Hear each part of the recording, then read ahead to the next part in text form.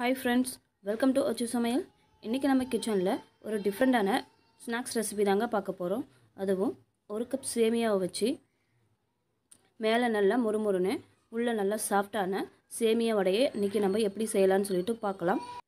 அதுக்கு தேவையான பொருட்கள் என்னன்னு சொல்லிட்டு பார்க்கலாம். இன்றைக்கி நான் நூறு கிராம் சேமியா எடுத்திருக்கேன். ஒருக்காத சேமியா தான் இது.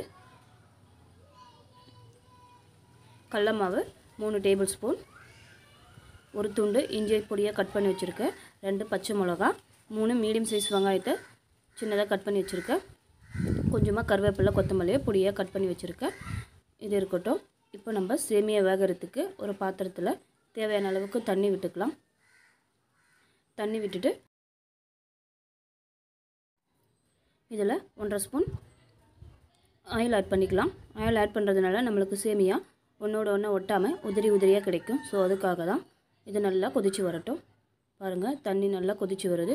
இப்போ நம்ம சேமியாவை இதில் ஆட் பண்ணிக்கலாம். சேமியா போட்ட ஒரு ஃபைவ் மினிட்ஸ்லேயே சேமியா நல்லா நமக்கு வெந்து வந்துடும் ஸோ அதனால் ஒரு கிண்டு கிண்டி விட்டு சேமியாவை பார்த்து உதிரி உதிரியாக நம்ம இதை இறக்கிக்கலாம்.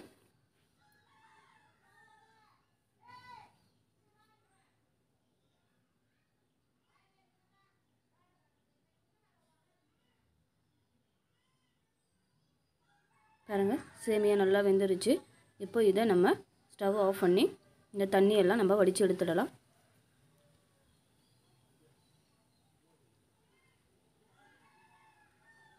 பாருங்கள் சேமியா நான் வடித்து எடுத்துட்டேன். இப்போ இதில் நம்ம இன்க்ரீடியன்ஸை ஆட் பண்ணிக்கலாம். வெங்காயம் பச்சை மிளகா இஞ்சி கருவேப்பிலை கொத்தமல்லி ஆட் பண்ணிக்கலாம்.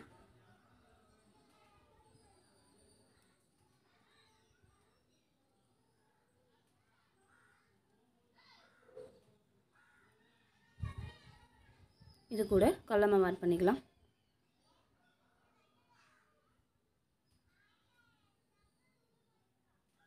கடல ஆட் பண்ணி தேவையான அளவுக்கு இது கூட உப்பு ஆட் பண்ணிக்கலாம்.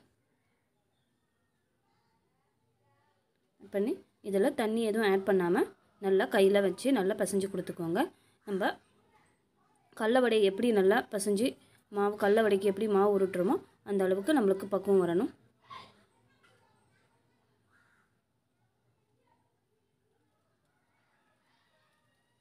நல்லா அழுத்தம் கொடுத்து பிசைஞ்சிக்கோங்க.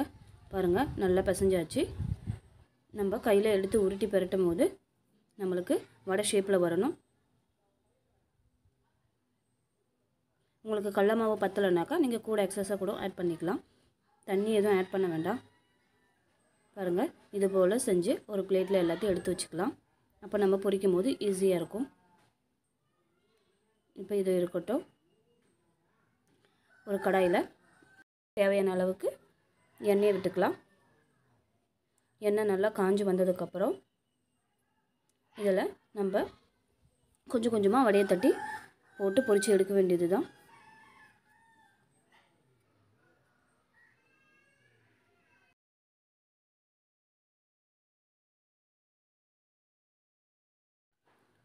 இது ஸ்டவ் நம்ம மீடியம் ஃப்ளேம்லேயே வச்சு ரெண்டு பக்கமும் நல்லா செவந்து வந்ததுக்கப்புறம் இதை எடுத்துட வேண்டியது தான் ரொம்ப சிம்பிளாக அதுவும் நல்லா முறு முறுன்னு சாஃப்டாக இது போல் உங்கள் வீட்டில் நீங்கள் செஞ்சு கொடுங்க.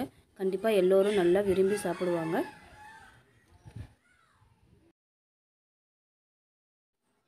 வெந்ததுக்கப்புறம் இது ஒரு பிளேட்டில் எடுத்து வச்சுருக்க வேண்டியது தான் அதே போல் இருக்கிற எல்லா மாவையும் இது போல் செஞ்சு எடுத்துக்கோங்க.